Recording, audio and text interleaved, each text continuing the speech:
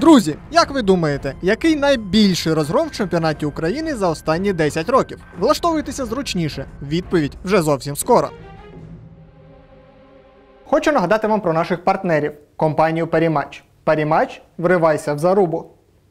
До вашої уваги топ-7 найбільш розгромних перемог. Сьоме місце Зоря Шахтар 1-7. Жовтень 2015-го. Минув рік, відколи орендовані зорею гравці Шахтаря переграли гірників у день народження Ріната Ахметова. Відтоді Шахтар заборонив орендованим гравцям грати проти себе. І Караваєв, Малиновський, Будківський та Микита Шевченко залишилися поза грою. Как всегда говорит, говорят вот в Шахтере много, что слабый чемпионат.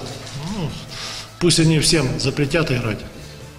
Пусть играют с молодежью, типа Черноморец, Металлур, Запорожье. И тогда они действительно будут, эти команды очень сильные и будут показывать супер результаты на Евроарене. У першому таймі розгромом і не пахло, але це тільки в першому таймі. Дісталося після матчу резервному голкіперові Луганчан Ігорю Левченку. Його невпевнена гра та помилки призвели до такого результату. Чотири із семи голів назвали воротарськими.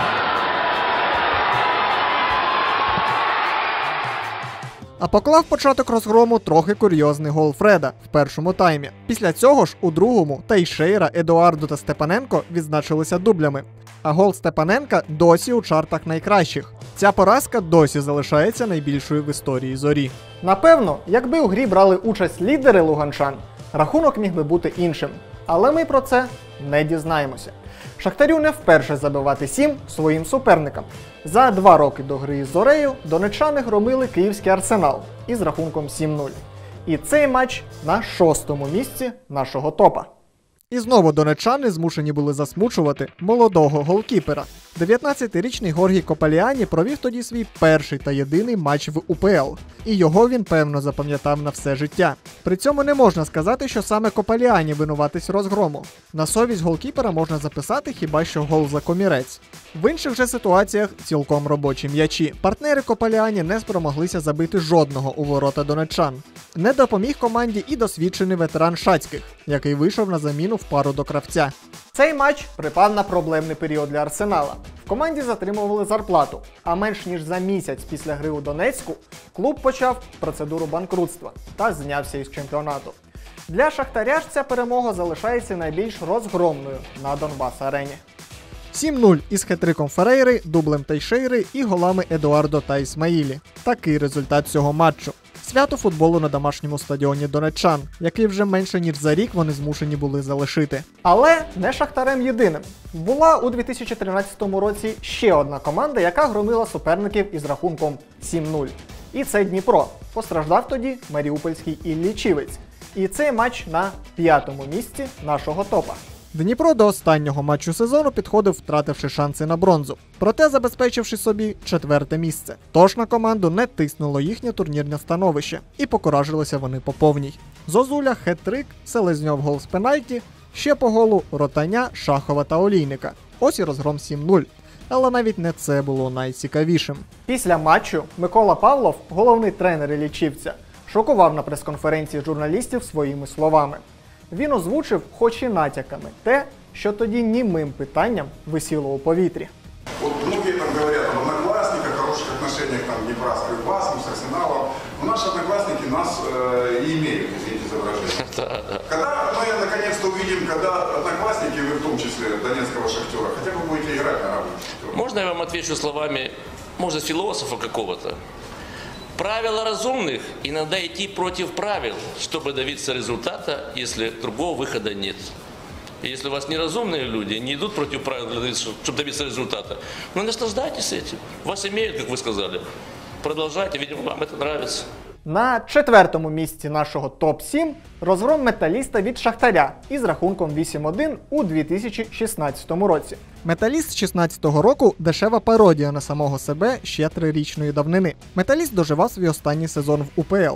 Команда буквально руйнувалася на очах. В основі у грі з Шахтарем харків'ян вийшло 5 гравців 22 років та молодше. Просто подивіться: в одного Олександра Гладкого на той час майже стільки ж матчів УПЛ, як у 9 футболістів основи харків'ян разом взятих 259 проти 293.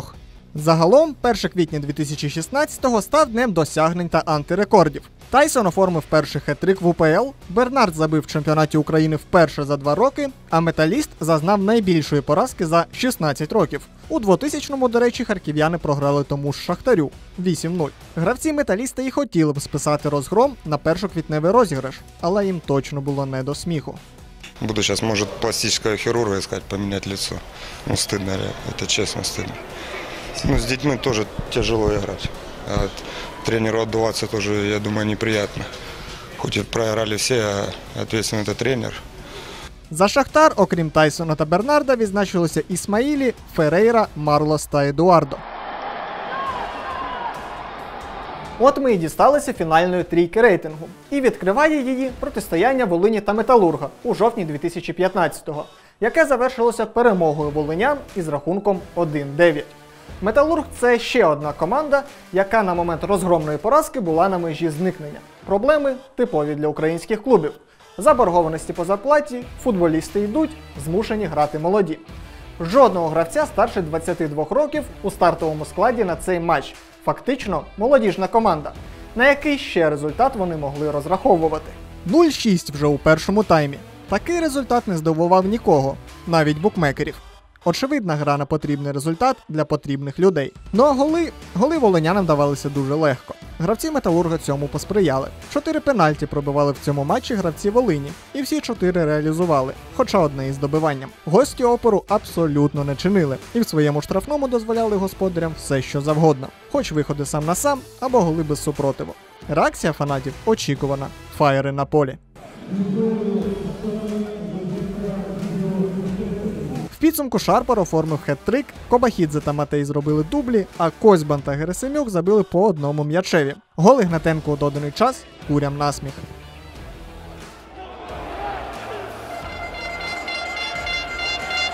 Вже традиційно для нашого топу сезон, в якому команда зазнала нищівної поразки, став для неї останнім в УПЛ. Металург припинив існування, потім відродився, а зараз виступає в другій лізі. Цей же матч увійшов в історію не тільки запорізького, але й всеукраїнського футболу, як один з найбільш розгромних та ганебних. Ще один історичний матч, ще один металург і знову перемога із рахунком 9-1.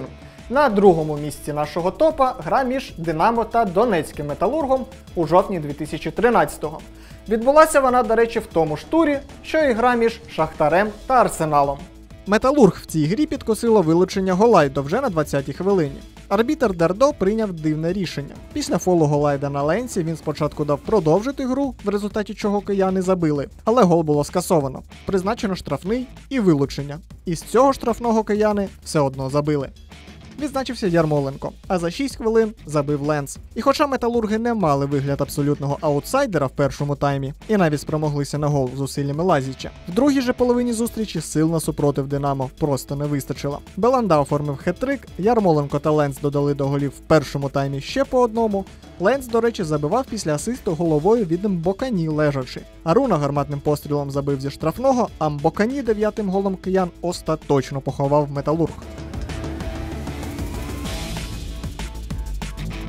Цілому, гра Динамо Металург чимось схожа на протистояння Шахтаря та Зорі із початку нашого топа.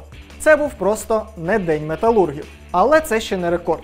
Найбільшим розгромом із розривом у 9 м'ячів може похизуватися знову ж таки київське Динамо. І сталося це у 2010 році у грі за лічівцем. І це перше місце нашого топа. На момент тієї зустрічі команди 24 рази зіграли одна з одною, і лічівець не здобув жодної перемоги. Тут до успіху теж було далекувато. Шість м'ячів у першому таймі і справу зроблено. Кияни каменю на камені не залишили від гостей. Особливо постарався Артем Мілевський. Він забив тричі в першому таймі, ще одного разу в другому, і вперше в кар'єрі відзначився чотири рази в одному матчі. Також по м'ячу забили Ярмоленко, Гусів, Гіллєрме та Даніло. А Савін відправив м'яча у свої ворота. Особливо хочеться відзначити четвертий гол. Як тонко Ярмоленко відчув епізод та в дотик віддав пас у величезну вільну зону на Мілевського. Ця перемога 9-0 стала найбільшою для киян в УПЛ.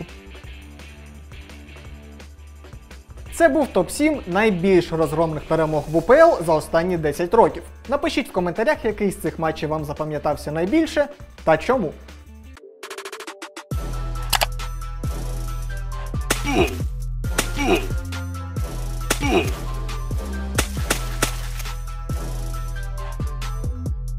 Дякую, що подивилися це відео. Якщо вам сподобалося, то поставте лайк і підпишіться на ProFootball Digital, аби футбол був завжди поруч із вами.